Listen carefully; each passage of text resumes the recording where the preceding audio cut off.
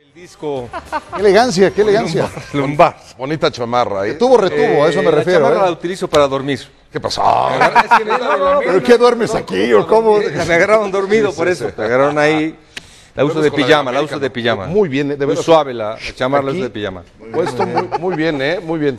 Felicidades, querido Mario. Buenas noches. Gracias. ¿Qué pasó? A mí no me dices que bien o qué? No, muy bien, sí, enorme. Muy bien, muy bien. Me costó un poco de trabajo. Se me alargó la, la última con, con la izquierda. Eh, Ricardo Puch, aprovecha. Buenas noches. 10 segundos. No, buenas noches a todos. Y ya estaremos platicando un poquito más adelante de lo que se viene en el arranque del torneo. Me parece muy bien. Horas para que inicie la Copa Confederaciones. Volvemos a Moscú. Adelante.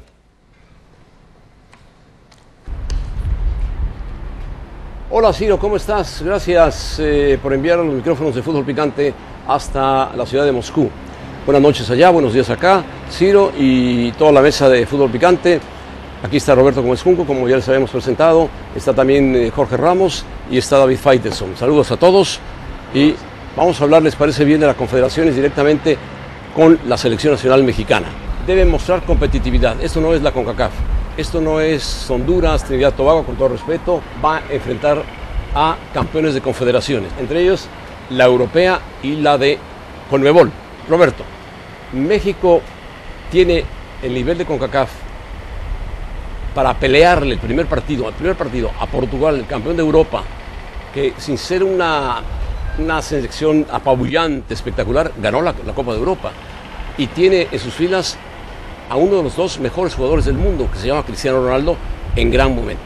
Sí, bueno, lo que pasa es que el equipo mexicano no tiene el nivel de CONCACAF, está muy por encima y así lo ha eh, confirmado en esta fase eliminatoria, prácticamente tiene su boleto para el Mundial, aquí estará el próximo año, pero sí, esto me parece un inmejorable parámetro porque los sinodales que tendrá en este torneo son muy distintos a los que suele un buen ensayo, enfrentar. ¿no? Sobre todo la selección portuguesa y la rusa, que es a las que enfrentará en la primera fase, a ver si más adelante tiene oportunidad de enfrentar a alguien más, eh, servirán como medida que normalmente el equipo mexicano no tiene. Yo sí creo que esta selección mexicana es capaz de desplegar mucho mejor fútbol que el que se le ha visto.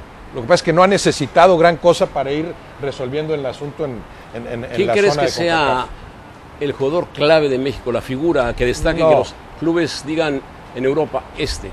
Chucky Lozano, No, no, no. Dam, no, así como mencionas, como mencionas Vela. a Cri- Cristiano viene como la gran figura portuguesa y la gran figura de esta Copa Confederaciones. Es el gran atractivo. No sé qué sería esta Copa Confederaciones sin Cristiano, porque fuera de eso no es eh, un torneo del que esperes eh, grandes cosas. En el equipo mexicano no veo a un jugador eh, que se acerque siquiera con ese nivel de, de- diferencia con el resto, ¿no? Pero tradicionalmente eso ha sido el fútbol mexicano, ¿no? Obligado a resolver en su juego colectivo lo que individualmente puede que no tenga. Tiene grandes futbolistas, pero ahí el- el asunto está mejor repartido. Mi duda es si no se pagará en este torneo ante adversarios de otro nivel ese precio de no repetir alineación, de no ser tan eficiente en lo colectivo como podría serlo, porque no repite alineaciones Osorio. o que aparezca un tropiezo como en la Copa América del 2016, cuando avanzamos, avanzamos, encontramos un rival aparentemente no tan poderoso que pensaban los mexicanos y nos llevamos una goleada espectacular. Yo sé que Jorge Ramos dice, bueno, es un accidente. Sin embargo, está esa selección en México, aquí en... Pero es un accidente. es una- pero está aquí. Está, pero no por esa copa, está por la del 2015. Correcto. Estamos Que es la valiosa. Que nos evitó Jorge ver, por ejemplo, aquí a Lionel Messi. Sí. Correctamente. Hubiera sido el duelo Messi-Cristiano, hubiera sido. o sea, estás Chile se- diciendo que los chilenos son No, los no, responsables no, no, no no, no, no. Bueno, sí, Pues lo sí son, fueron. sí son los responsables. No, lo hicieron Sí muy son, bien. sí son. Lo hicieron muy bien. Ganaron las dos copas seguidas y Argentina las dos. Ahora, ¿Portugal es el favorito? No, para mí el favorito sigue siendo Alemania por encima de las ausencias importantes que va a tener sin duda, pero hay apariciones jóvenes. Pero trae un equipo joven muy bueno, ¿eh? Perdón, por eso, por eso yo creo que el gran candidato en lo previo para mí es Alemania y en un segundo escalón están Portugal, México y Chile. O sea, Portugal, México y Chile están en el mismo escalón. Sí, exactamente. ¿Seguro? Sí, porque, a ver, Portugal, yo escucho muy bien y por la galería tiene que decir Osorio y algunos futbolistas como Memo Ochoa, no es solo Cristiano. A ver, esta Portugal sin Cristiano, no sé si estaba en ese segundo escalón. Son jugadores está Cristiano, livianos pero está y Cristiano, es algunos muy veteranos. Todavía la saga central es Pepe con Bruno, eh, Bruno Alves. Todavía el arquero es Rui Patricio, todavía en el medio. Bueno, hace un año fueron Carvalho, campeones de Europa, ¿eh? Hace un año le ganaron a En Francia en Europa San jugaron muy bien. Eder se inventó un gol que no existía. No, no, se inventó, Eder se ni inventó. siquiera está en esta convocatoria. Y sin Cristiano, usted sin revisa- Cristiano, ¿eh? Cuando Sin usted revisa, no tiene un centro delantero suplente de Cristiano esta selección. No encontró un centro delantero. Pero Bueno, Jorge, en ¿quién el, supla a Cristiano es- Ronaldo? ga- gana, Nadie, pero no, pero que dar Po- una opción. Portugal gana la, la Eurocopa hace un año y ¿no crees que Cristiano no fue tan importante como en otras ocasiones? no, sería quizá ni siquiera el mejor el mejor jugador portugués en ese torneo. No, no, no, no. Pepe creo que dio un torneo, Renato por ejemplo, Sánchez. que nunca le han dicho Renato Renato, Sin Sánchez. Sánchez. embargo, pregúntale a acá. Aprendió a repartirse mejor fue a la. Euro. Renato. Fue a, Pero la, ver, fue a la Euro y vio a Cristiano hacer un gol Fantástico que rebasó contra el País de remate de Gales, cabeza, sí. el El. León, sí, A ver, impresionante. en su salto. decir esto, desde hace más o menos 30 años que sigo a las selecciones mexicanas, Juan Carlos Osorio me ha hecho este trabajo muy complicado. Me cuesta muchísimo poderla analizar porque todavía no sé cómo juega, qué juega y qué busca. Bueno, hay quien dice no que, Fer- hay quien mal. dice que Fernando Santos es parecido a Osorio. Eh, Fernando Santos ha hecho un equipo más compacto, lo ha hecho más pragmático. Osorio me parece que todavía está con el tubo de ensayo, quiero creer yo, pero a la vez nos complica a nosotros, aquellos que nos creemos entendidos de este tema. Eh, no sabemos si va a jugar con línea de 5, con línea de 3, con línea de 4. Ni con quiénes. Ni con, Ni con quiénes, quiénes. Ni con quiénes. No tiene hoy un, un mediocampista de contención de verdad. Eh, es, es muy difícil analizarlo a este, a este México. No tiene un equipo tipo, porque no, lo tiene. No sabemos. No. Juega Oribe con Chicharito, juega Raúl con Chicharito. Hay cinco o seis que sabes que van a jugar. A, di- Cinco a seis. diferencia de Portugal, que tiene un no. equipo muy hecho. Pero Exacto. tiene, pero a diferencia de Jorge, tiene un equipo, a diferencia de otras generaciones en el fútbol mexicano, que está prácticamente, sus jugadores están en no en las mejores, en algunas ligas de gran importancia en el fútbol europeo. Eso es la garantía que tiene el fútbol mexicano.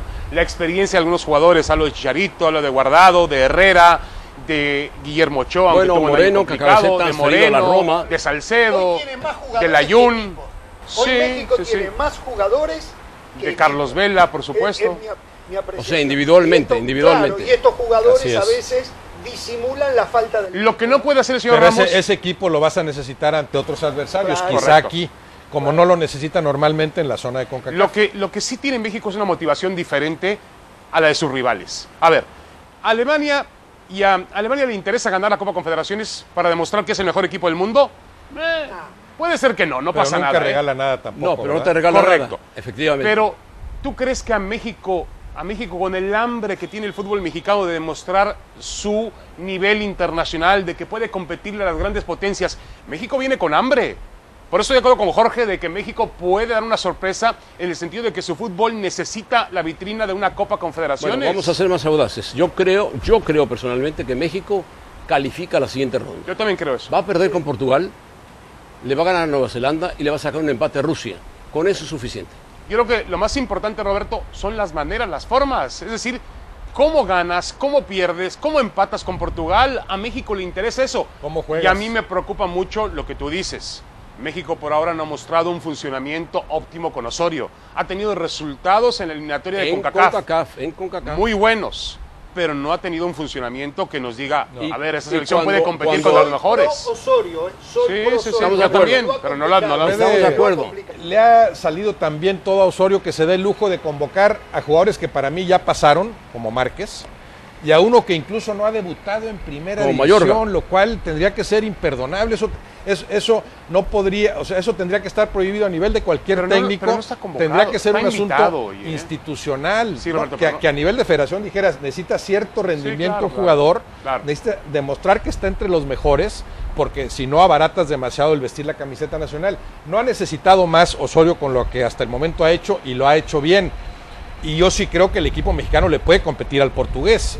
Pero también me parece indudable que es favorita Portugal. Claro. Y en un México-Rusia, yo tampoco veo por qué vas a señalar favorito a México, considerando que Rusia jugará en su cancha. O sea, yo si pienso en probabilidades, sí veo eh, complicado que el equipo mexicano avance.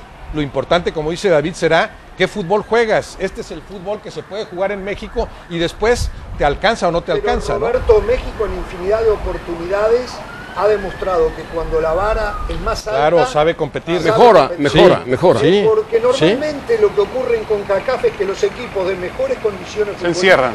perdón, de peores condiciones futbolísticas lo atrapan, lo, lo- lo absorben y lo llevan a un rendimiento por debajo Sí, de lo que puede. pero ¿a qué equipo se ha enfrentado esta selección mexicana? Ya sabemos qué sucedió contra Chile, de otro nivel.